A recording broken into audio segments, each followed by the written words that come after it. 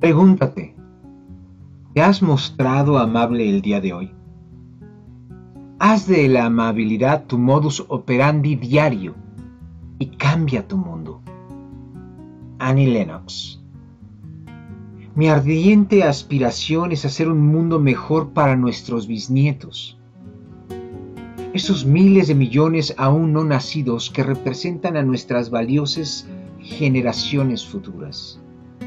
La esperanza de nuestro pequeño planeta azul. Cualquier cosa que quisiera hacer por ellos requiere un esfuerzo enfocado y constante en este momento. Lennox sugiere convertir la amabilidad en un hábito como la solución para un mundo mejor y estoy de acuerdo. El hábito de la amabilidad comienza con una disposición, crece con el enfoque de una intención y se manifiesta con la acción.